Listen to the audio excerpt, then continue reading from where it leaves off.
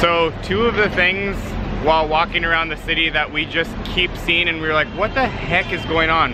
One of them is a lot of the locals will smile at you and their teeth are like dark red and look really rotten and like slimy. Or even bloody. Or like bloody. And then all everywhere around you, people are just hawking fat loogies all over the ground. You have to watch your feet because people just spit at your feet.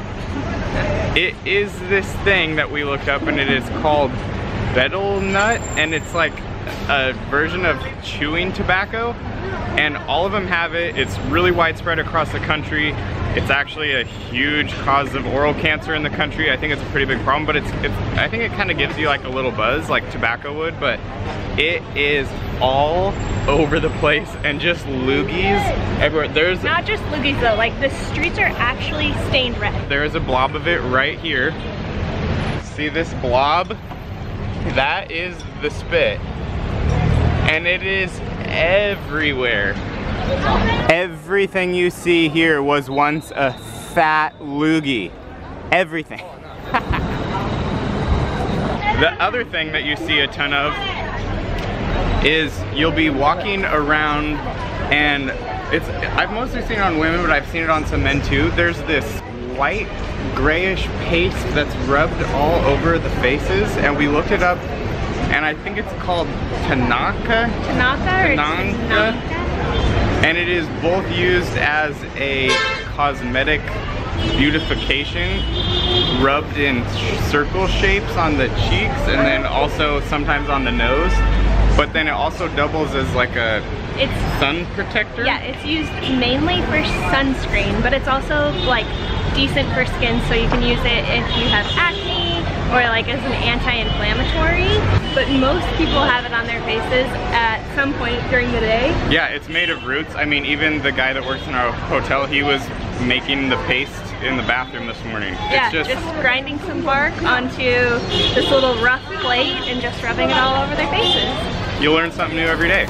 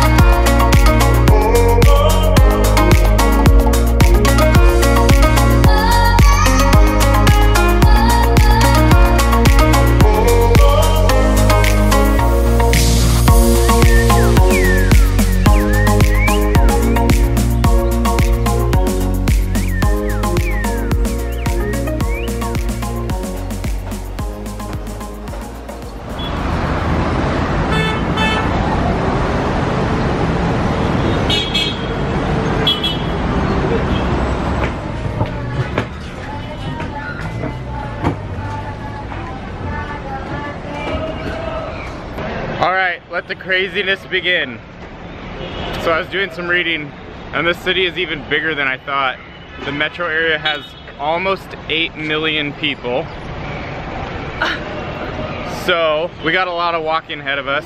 We're gonna walk about two miles up the road. It should take us about 40 minutes and we're gonna first head to the Shwedagon Pagoda. Pagoda.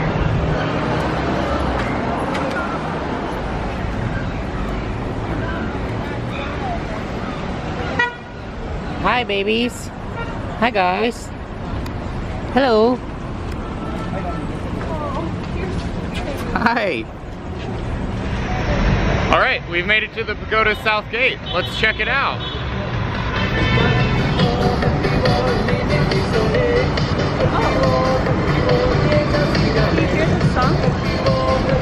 They're playing a Burmese jingle bells.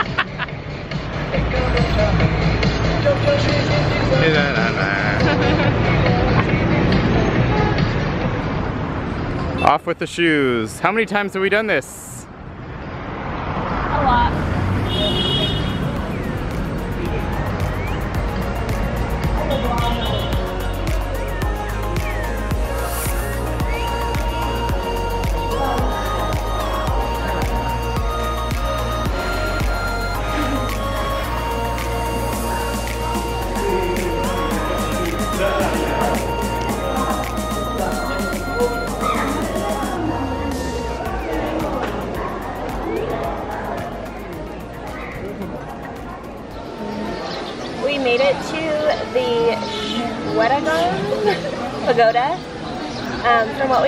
shrine. It is the most sacred pagoda in all of Myanmar.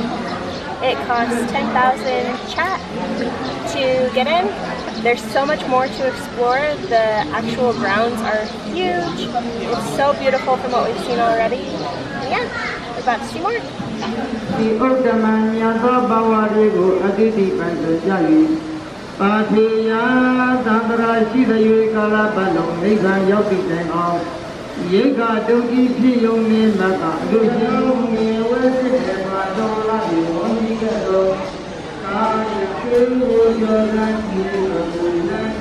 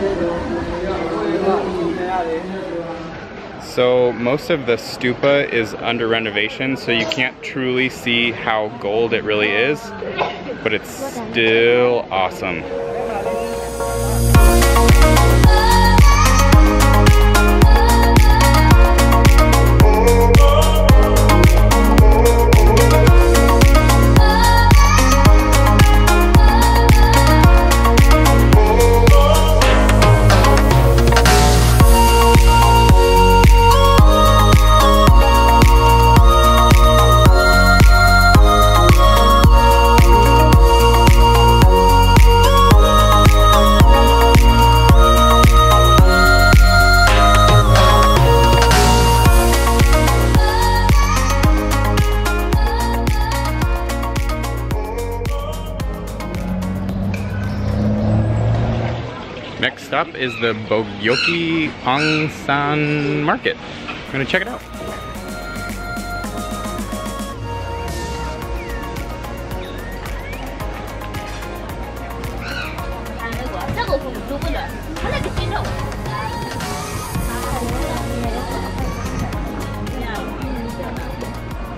Their market is split up in like different sections. So there's jewelry, fabrics, clothing, here in the middle. Also, pomelos in Asia are like three times the size as what you can find at Yeah. home. So, like just slices, and they're so good. It's not like a grapefruit. It's it's got the hint of bitterness of a grapefruit, but it, I think it's sweeter. It's sweeter, but also like the actual individual pieces of pulp are huge. Yeah. Mm, So good. They're good. This place is really cool. It's pretty quiet. Usually when we're in a market, we can't even hear ourselves talk. And it's kind of quiet. Yeah. I like it.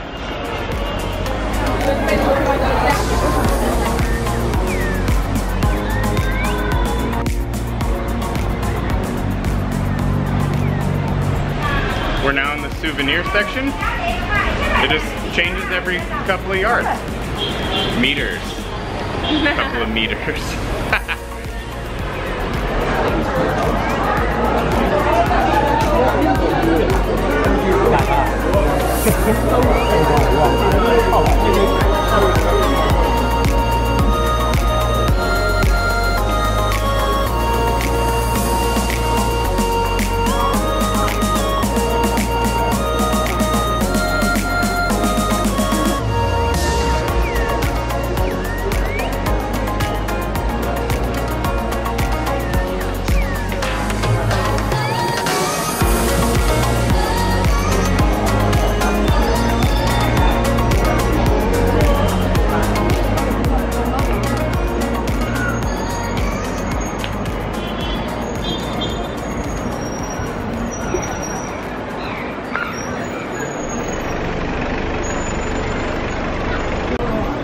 Those workers are barefoot, just pulling crap and garbage out of the gutters, and I'm just.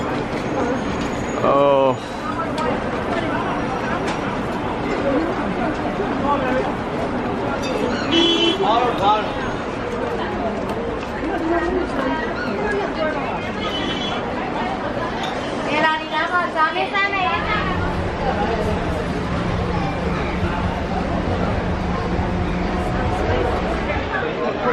It's really strange because with all of the grunge, it's kind of beautiful. I can't describe it. Yeah, you look past the grunge. yeah, you look past the grunge and there's still colors and the language is beautiful. It looks almost like music notes. I mean, it's really, really interesting.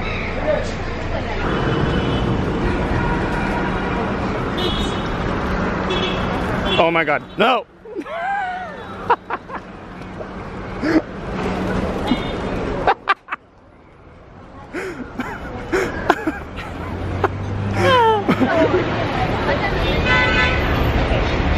yeah? No? Yeah? Yep. Go, go, go. Oh, Oh, traffic here. there is no rhyme or reason. No. Every man for themselves. I always thought the traffic in Vietnam was like absolutely terrifying, but at least they like stay in a straight line for the most part. Drivers here are ruthless. Will intentionally try and hit you. Yeah. It's funny. My adrenaline is at an all-time high. Oh my god. Oh. Oh my god.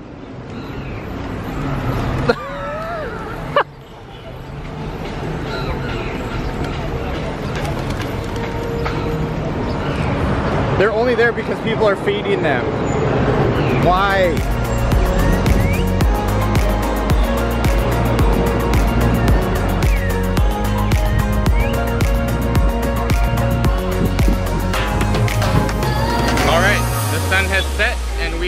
Try our luck at a Yangon night market.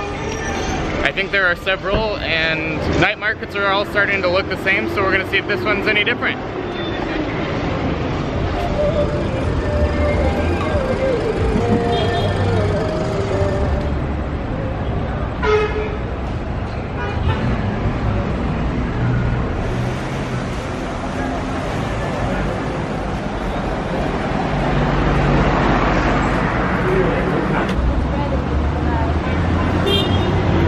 I'm sorry, but that is the most pitiful night market we've ever seen. I mean, and we've been to some small towns. Yeah, it really just doesn't have anything to offer.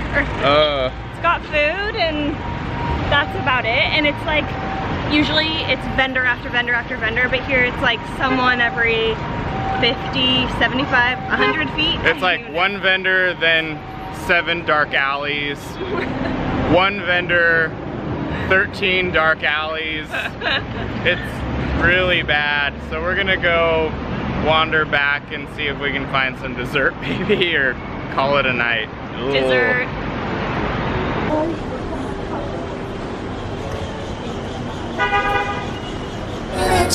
Alright, Braden's getting a strawberry sundae. I'm getting coconut milk tea.